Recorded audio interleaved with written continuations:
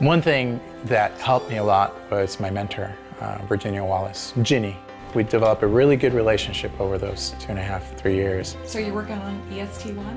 He was trying to get his degree. He was working full time. He was juggling college and personal life. And he wanted everything. He saw this big vision, but he wasn't sure how he was going to get there.